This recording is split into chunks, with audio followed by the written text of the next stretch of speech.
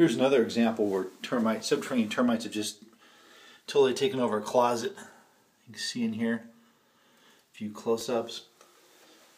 We've actually got some pinholes in here. They just barely pop through the walls. And if you go up, you can see all these areas in here. The ceiling has just been totally uh, taken over by the subterranean termites also. And the last part of this shelf area here.